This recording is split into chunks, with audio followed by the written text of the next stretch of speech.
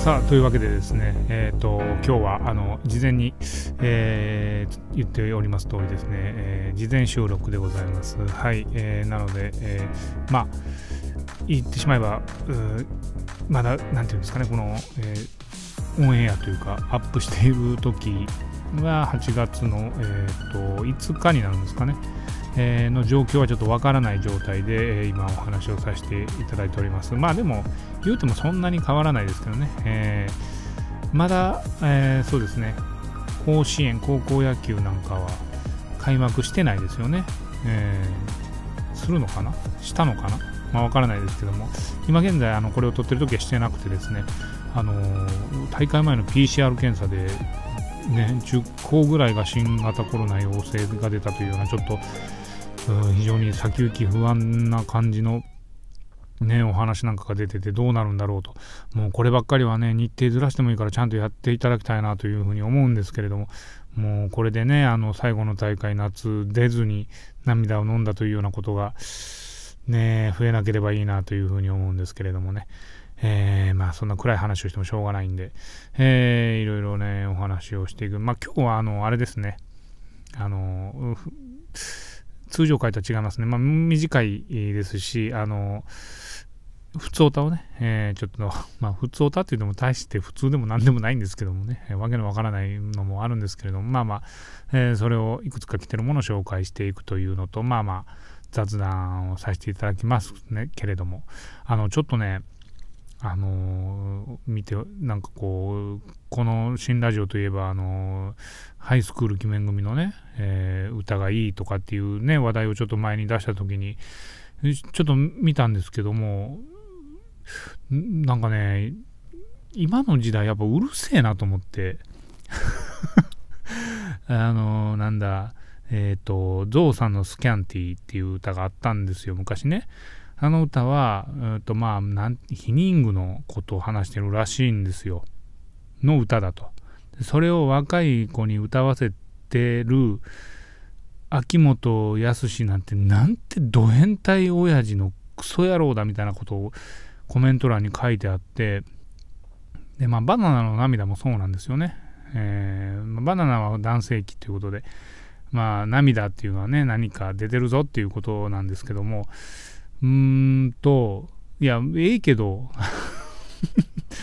なんやろ、それに対して秋元は変態だとか言ってるけど、あの、もともとそういうコンセプトやでと思うんですよ。そのその時の背景を、まあ、僕もそのちっちゃかったのであんま覚えてないですけれどもまあでもあの女子大生をかき集めてそのねあのアイドルっぽくしていかにもその会いに行けるアイドルではないけれども身近なね、えー、クラスのあの子がアイドルになったぐらいの感覚でやってるわけですよあれは。で夕焼けにゃんにゃんとかやってたわけですよ。おにゃんこですよだって。あのまともな意味でやってないですよ正直。エロいめちゃめちゃエロい目で見てくださいよっていうもともとコンセプトやと思いますよ。はい。あの今では絶対許されないですけども当時は正直もう性的な対象として見てどうぞ見てください。モテない男たちをみたいな感覚やったと思うんですよ。だっておにゃんこクラブですよ名前。でにゃんにゃんって当時ねあの今でこそ言わないにゃんにゃんっていうのは死語になりましたけどにゃんにゃんっていうのはあの、まあ、そういうことするそういう行為のことをにゃんにゃんって言うんですよ。言ってたんですよ当時。で夕焼けにゃんにゃんですよ。そらそう元からそのコンセプトやからそのバナナの涙とかゾウさんのスキャンティーを若い女の子に歌わせて興奮してた秋元ド変態って別にあの秋元さんを擁護するわけじゃないですけどもいやもともとそういうコンセプトやしで秋元康がやってることをそのその歌詞がどうのこうのとか言う前に変態は変態ですよ。だってあんなおっさんになってからもまだアイドル言うて女の子かき集めてサッカーシリーズとかわけのわからんこと言うて金をむしり取ってるわけですよモテない男たちから。もうそんなまともな人間じゃないですどう考え 何を今更まともな体で喋っとんねんっていうね、えー、変な人に向かって変あいつは変だって言ってるんですよみんな。変や言うてるやん最初からっていうね、えー、まあまあまあそんなことちょっと思いました、えー、ね元から多分そうですよあれは。ねうんだから、えー、コメント欄なんか見てるとこう知った風でもなんかもうよ喋るなみんなあそこ。コメントやツイッターやになると。面と向かって対しておい喋れへんくせに。ほんまに。嫌いやわ。ネットでしか喋られへんやつ嫌いやわ。ねえもっと。まともに生きてくださいというふうに思いますけれども、えー、さあ、普通歌の方にね、えー、行きたいと思いますけれども、まあ、普通歌をね、送ってくれたのは、あの、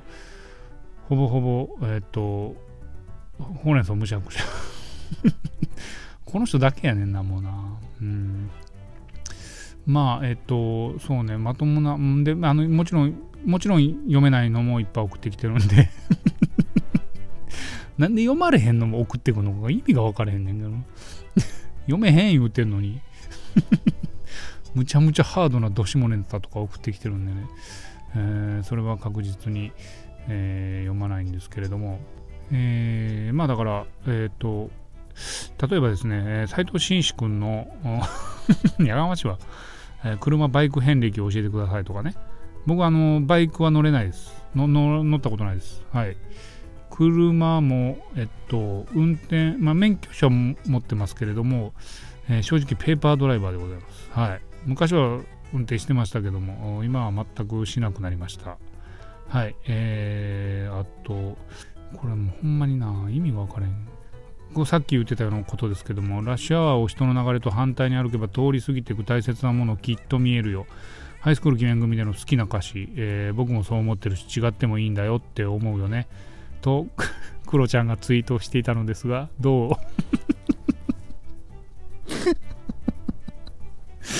何言うとんねん。でもこの歌むちゃくちゃいい歌なんですよ。あのえなんていうあれだから鬼面組って全部後ろ指さされ組が歌ってるんですけどうんと男の人なんです。息子クラブやったっけななんか忘れましたけど。えー、男のグループなんですよ、あれ歌ってんのが。で、なんていうタイトルか忘れたけど、この歌。自由に生きるのは難しいけれど、縛られちゃ意味がない。小さな、小さな、小さな型にはまれなくて、どんなに傷ついたってって、もうなんか今の LGBT の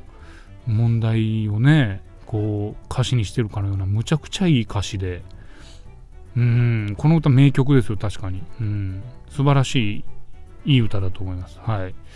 えー、ただ、質問はちょっとよくわからなかったんですけどね。えー、これ、あの、言っときますけど、全部ほうれん草むしゃくしゃさんですからね。えー、赤バンされたガーシーがアカウントを貸してくれる人を募集していたのですが、宣伝の意味を込めて、バン覚悟でこのチャンネルを貸す予定はありますか？あるか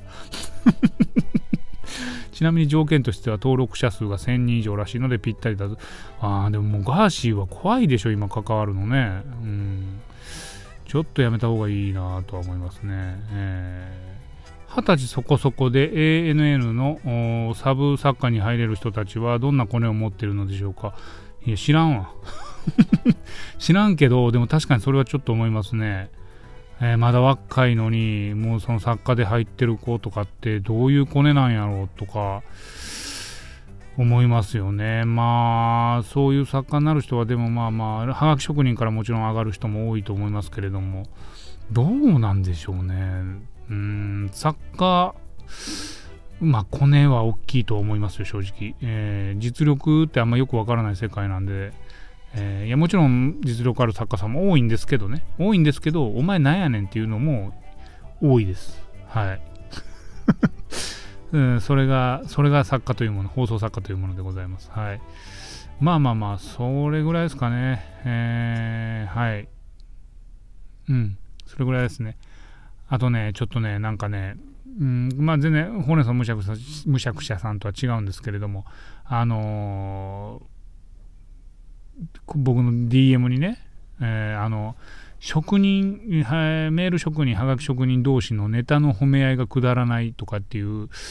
ことを書いてきてる人がいて、うんと、まあちょっと思うことがあったんで言いますけども、あのー、そんなことを思ってるあんたの器の方が小さいよとは思います。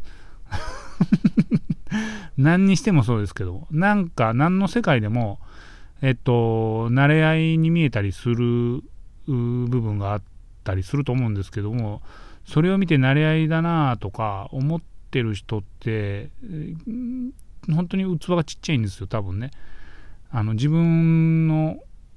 ことをまともに見れてないというか何て言うんですかね自分のことにもうちょっと真剣になったらどないですかっていうことですよね。あのはがき職人さんたちが例えばメールとあのツイッターとかでねこう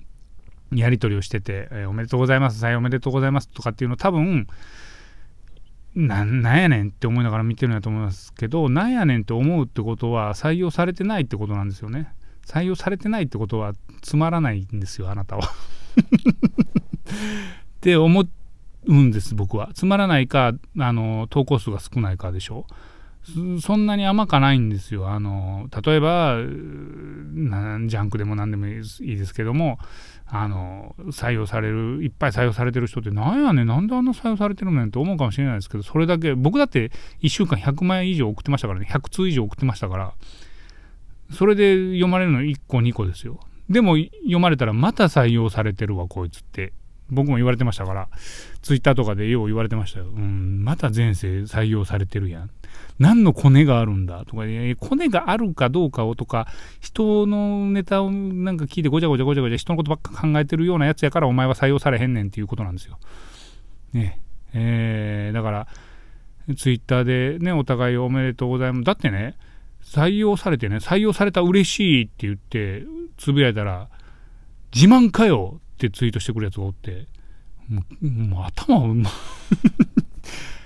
やばいでしょ、そんな人。えー、自慢や。採用されたいなと思って送って採用されたからやった言うてんねん。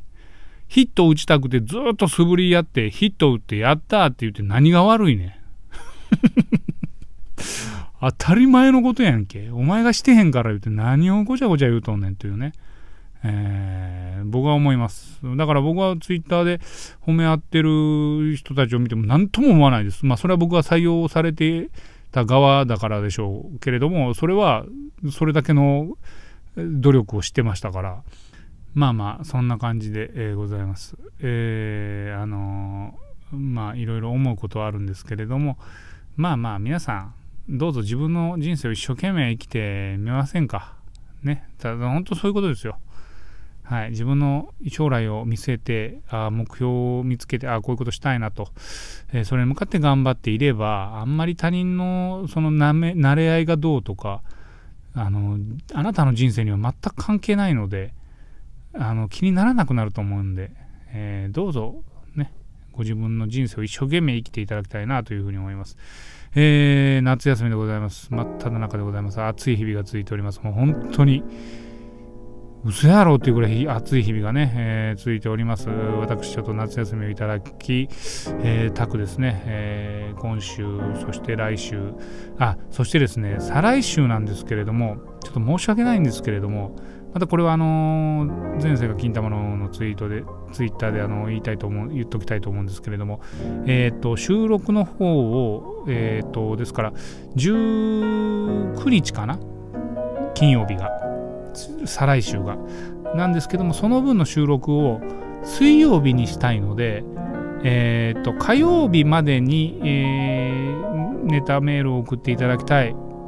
これは本当に私のわがままで申し訳ないですけれども、えー、なので16日までに送っていただきたいです、メールを。それを19日に、えー、アップするという形でちょっと再来週はねしたいと思いますので何卒よろしくお願いいたします、えー、またそのね詳細などはあのしっかり、えー、ツイッターの方でつぶやきますのでぜひ、えー、ご確認の方をしていただきたいなというふうに思います。暑いですけど皆さん水分補給しっかりして、え、夏バテにならないようにコロナにもならないようにしてくださいね。はいというわけで今週は以上でございます。また来週お会いしましょう。さようなら。